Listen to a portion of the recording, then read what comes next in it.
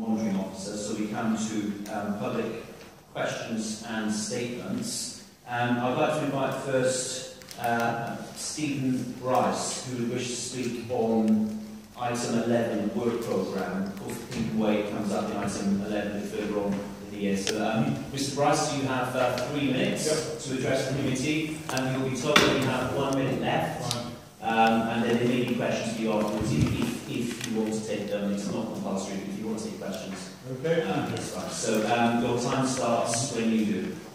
Do I need, is this, is this something that gets to do? Uh, good evening, my name is Stephen Bryce, I'm the chair of the Pinkham Way Alliance. The council faces significant financial implications if it proceeds with development proposals on Pinkham Way. Um, we do ask that this statement be recorded in the minutes. Agenda item 11, which is on page 65 of tonight's papers, refers to preparation of an OBC for Pinkham Way by September. We wish to draw your attention to the following points prior to the preparation of that OBC. The Pinkham Way site is not brownfield land or previously developed as PDL. Um, it is, has a very high environmental value, having been completely reclaimed by nature, and sort of the definition in the London plan, the remains of the permanent structure or fixed, fixed surface structure have blended into the landscape in the process of time. If the land release fund application was made on the basis of Pinkham been brownfield, then it is a misrepresentation. Access is uh, a big problem. You have MOL to the western side, which is obviously protected, and access from the Orion would immediately have to cross an area of UK priority habitat, which is also protected, and your green infrastructure SPD uh, published last year commits you to protect such habitats and to work with neighbouring boroughs to protect them. Haringey Council tells us that the northern section of the road bridge linking the site to the retail park is privately owned, which there will be additional costs for access. And as some of you may know, Haringey rejected your 1998 a- application for residential development, A, because of potential ecological, damage which could not be justified, and B, because of the site's isolation from public transport and the limited capacity of local roads. Right. In 2014, TfL estimated £1 million per annum to bring public transport in. Local as well as A406 congestion is now chronic, and a raft of recent studies has confirmed the site's high environmental value. It has a dual designation for SINC and employment. The 2017 Haringey Inspector's report flagged up the unsuitability of the employment designation whilst confirming the SINC designation as justified. The All London Green Grid marks the site as private open space, Haringey as green space, your own core strategy and green infrastructure, SPD, marks it as public park. Attempting to move forward on a site that's so hobbled with planning risk will only waste further scarce resources to add to the tens of millions of pounds already swallowed in this financial and planning shambles. Thank you. Uh, thank, thank you, Mr Bryce. Are there any questions? Um, Mr. I, I I appreciate we, we don't have the, the detailed report here, so, so Yeah. you can come well in advance, which, uh, which um, hats off to you for that. But are any the- questions, Councillor Wilson? No.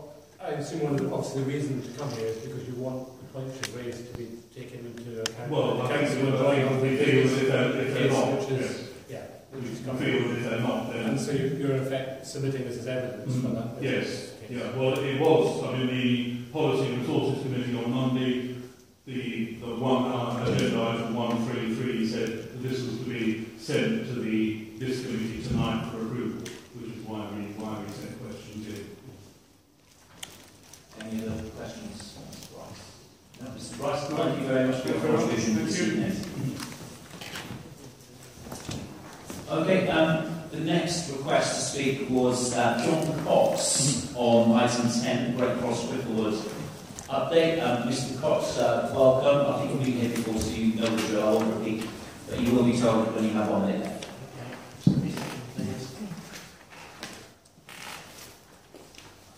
start start, as you say. Thank you very much. Um, I, I wish to the uh, committee's attention to the. Please press the button. I wish to uh, bring the committee's attention to the uh, difference between the risks of the uh, Brent Cross station as, ex- as expressed in this report today, which essentially is not being any risks, and the risks as expressed by the borough as part of the West London Alliance in terms of the West London Orbital Railway, which is heavily being promoted by your dear understand, he was in the uh, paper a few months ago. Um, in particular, it's impossible to find out what's happening because freedom of information requests are not refused, they're just ignored at the moment.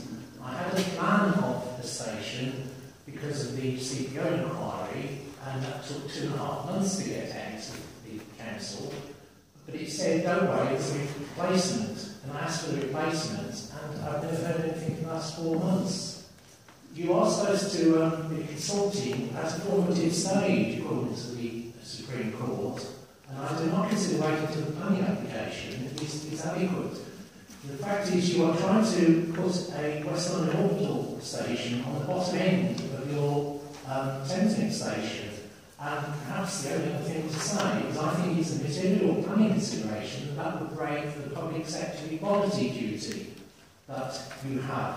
And I've spent some of my valuable time reading the House of Commons Women and Equalities Committee um, tells the Equality and Human Rights Commission how to run the duty, and it says disabled people have the right to participate in all forms of life under the law. This is undermined if the built environment locks them out. You have to walk potentially as an eight platform, say, uh, an eight car platform on the West London Orbital, if they do allow eight car platforms, go up the West London Orbital staircase, across something, uh, uh, a walkway that West London Orbital has to pay for, down another stairs, along half of the 12 car platform to your station. And that is incompatible with, with what they're trying to do. Wrong that? Right, okay. Uh, I, I mean, and these are planning considerations, disabled people need to enjoy life, participate in society, work and travel on an equal basis as required by the law. The ability to access public and private buildings, centres and other parts of the public realm is central to this. The impact on public on people's lives where public spaces are not accessible easily is devastating. Inclusive design must be a golden thread runs all through your new buildings and within the public realm.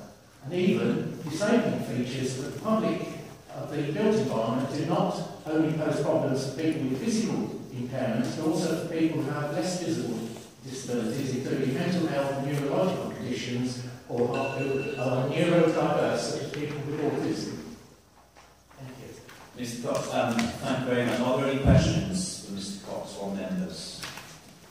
Um, Councillor Rosenberg. So, sorry, Mr. Cox, can you just clarify the objection? Is it that the if if, if the West London Orbital is built, the lighting point will be too far from it, it should be closer. Is that is that is that the Well, concern? well, honestly, who knows? I see. Because Capital will not say. I've tried two years of this displaying including the CPOs. Right. Okay. So you're concerned that they might not be close enough, essentially, because I mean, like commitment to you know turning over and improving uh, accessibility on the rail network is, I think, a given. Yes. You know, given that we're building a new rail station there, which will of course be accessible. We're re- rebuilding Colindale just up the road, along exactly the same lines that will have lifts put in, etc. You know, uh, so um, we're very clear that we're reliant on, on, on what we're looking to do here. Right. So I'm, I'm, I'm just not quite sure I Well, follow. I, what I, you're I, doing. I freely admit I've been trying to use this as a stick with which to beat you. I mean, I could raise other, plenty of other subjects, but that alone might put into question your planning application, because it's a material planning consideration that is not in the risks in your report tonight. And yet, such things are, you know, doing it in three minutes, such things are in West London Orbital Project team reports that go to the West London Alliance, which the good and at far end goes and attends. So I'm saying it's unreasonable that you have no risks put down about your station of the West London Orbital coming along. The ideal way to do it is to put six platforms side by side, and then I wouldn't be here tonight. And there are technical reasons why you could do that. Okay. Um, thank you. That's, that's my thank you. I think some others have questions for you, other Scots. I'll keep you busy. Um, Councillor McGregor, Councillor Cook. I mean, Councillor President mentioned that closeness. I think your argument is about accessibility. Is that the biggest yes. issue? Yes. So yeah. whenever we're doing what I like to say, whenever we're planning any transport infrastructure or any infrastructure in this borough, accessibility has to be at the forefront of our decision-making process. Is that true? That's- well, that's what I know, yes. And it is. And Councillor Cook. I I received a briefing uh, on this matter shortly before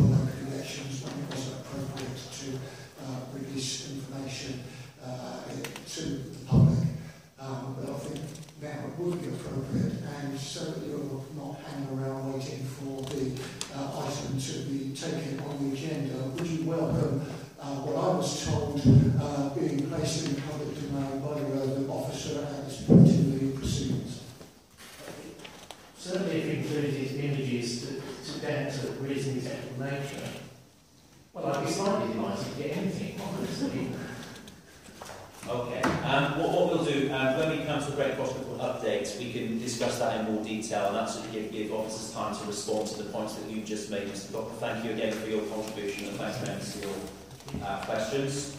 Um, the third and final speaker this evening is Jasmine Parsons. Uh, this is on item 8, the